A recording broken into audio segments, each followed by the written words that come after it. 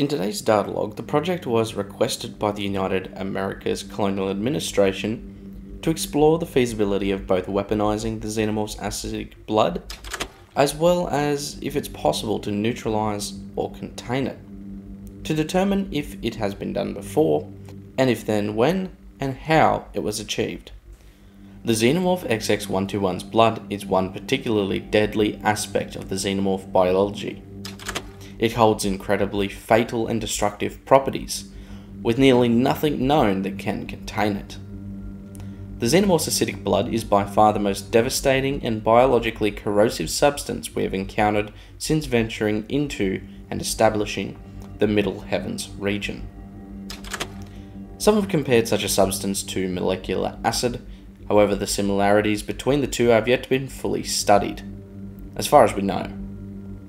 So far, we know of some colonists successfully containing it, Weyland-Yutani weaponizing one method, and also something that might hold the most promise the local flora of a far off colony world. But before we get into all that, let's break down each one separately and get a better idea of each and their feasibility for the UAAC's purpose. The first method you could approach to neutralizing the creature's acid is something as equally powerful but an alkaline substance instead.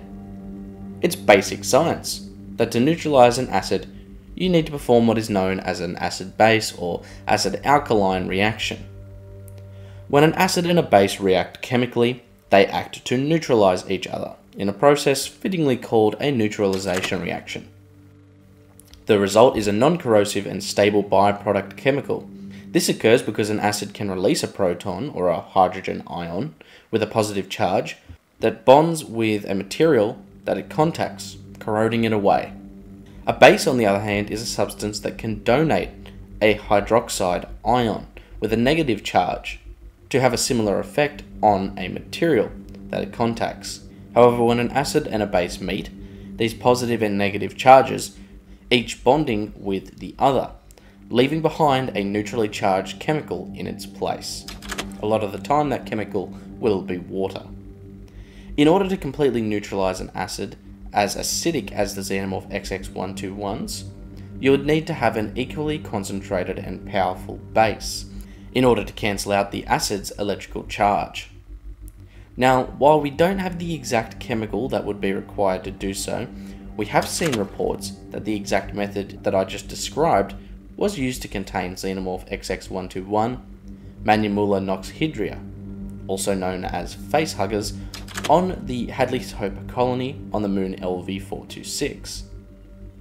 After the Marines aboard the USS Sulaco arrived on LV-426 to respond to the Hadley Hope's colonist distress call in 2179, they would eventually discover face hugger specimens within the facility's medbay contained within large specimen jars, we know that the Noxhydria have the ability to secrete and eject acid from their bodies in order to assist them with reaching a potential host. Something like a pressure suit visor plate, or in this case, the glass of a polyresin specimen jar, shouldn't be able to hold up against them expelling acid. So, while never proven, it was heavily suggested that the colonists of Hadley's Hope had managed to remove these facehuggers from their fellow colonists uh, that had been attacked, discovered their acidic abilities, and chose to store them within a highly alkaline solution to prevent their escape in the colony, where they could do more damage. While this was effective, it only served as a containment strategy for the facehugger, and nothing more. This method is basically useless to contain anything more than a facehugger or as a defense strategy.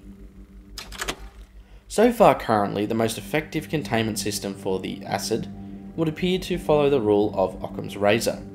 The fact that sometimes the simplest solution is generally the best. The species Xenomorph XX121 likely hold the key within their own biology and genetics.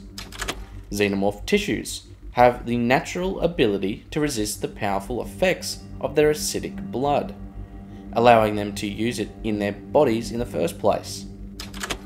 Weyland-Yutani was known to have used this trait of the xenomorph XX121's biology in order to produce a new type of deadly chemical weapon. During the year 2140, Weyland-Yutani had in their possession a number of xenomorph specimens located on a classified black site somewhere in the middle heavens. Using these specimens in study, they were able to successfully produce a chemical ballistic projectile weapon. Presumably utilizing the tissue of the xenomorph, the company was able to design bullets that's tips possessed a casing of xenomorph tissue, and within that, a small packet of acidic blood. There was just enough tissue to contain the acid, but also to allow it to rupture on contact with a target. When fired at a target, not only would the bullet inflict traditional kinetic damage, but the Xenomorph XX121 tissue would rupture on impact and release the acid from within. While the amount within the casing was relatively small, it was still capable of causing massive damage as the acid ate away at anything in the immediate surrounding area of the bullet. The prime example we have of this is when the Weyland-Yutani Franklin Combat Synthetics used this unique bullet to wound one Amanda Ripley. Ripley was fired at and received a near miss grazing blow from one of these bullets on her upper arm. Now, what would otherwise have been a slight graze led to massive tissue damage due to the effects of the acid being released onto her flesh rapidly beginning to eat through before it was neutralized over a short period, as this wasn't a whole lot of acid. But that being said, even this small amount did a serious amount of damage. Ripley was fortunate that it was only a graze, because going off how much damage something like this bullet inflicted on her, just from a graze, it's likely that a direct hit from one of these would have resulted in the loss of a limb or even death with little room in there left for survivability. Rumours suggest at one time that following the fall of the USM Auriga, a starship in the year 2381, uh, the newly uh, reformed Weyland Yutani were developing a concept weapon that also utilised xenomorph tissues to produce a weapon that fired the acid at a desired target. However, it seems that this never came to be, due to the physical limitations of the technology. The final example we have is that provided by Agent Brooklyn, one of our agents under Operation Vigilance, currently on a research project beyond the 20 parsec limit. This is Agent Brooklyn. My recent ventures to the far-off colony world of Atagena have led to some interesting data. Most research data on the alien species Xenomorph XX121, aka the Xenomorph, has been from closed or restricted environments, e.g., spacecraft, space stations, or small and singular colonial settlements.